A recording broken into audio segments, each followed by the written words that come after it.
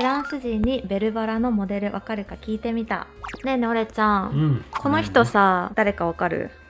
あわかったわかった。何？自由夫人でしょ？若い時。確かに。似てる。似てる？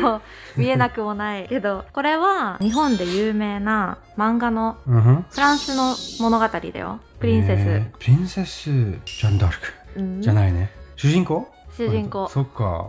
正解はマリー・アントワネットえマリオンとは主人公？うん。えでも一番可愛いでしょ？可愛いんだけどさ悪子じゃない？主人公になった？すごい、うん。一番なんか歴史の中に一番悪い人多分。えー、そうそうそう。マリアントワネットでしょ？うん。主人公やば